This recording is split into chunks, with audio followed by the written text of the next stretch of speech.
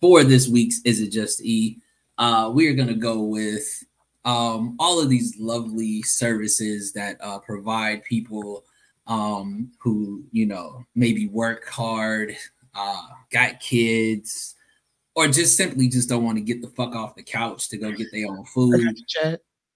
Um, you know what I mean? Uh, Uber Eats, you got Grubhub, you got DoorDash. Listen, shout out to everybody who uses these services who are very trustworthy uh, for other people to go grab their food and to bring it to their house.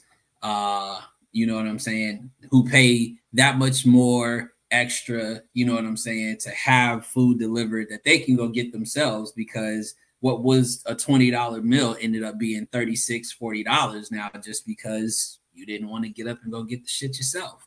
Uh, so you know, listen, you know, shout out to, to everybody who uses these services. I, for my, you know, myself, don't utilize these, don't have the apps, never use the shit in my life. I don't trust people enough to go get my fucking food uh, and bring it to my house and and see that the order. Fuck, they get it wrong when I go get the order myself. What makes it? Who am I going to be mad at? The driver that the shit is wrong, and then go back to the damn place that I did not get my food from just to say that the shit was wrong.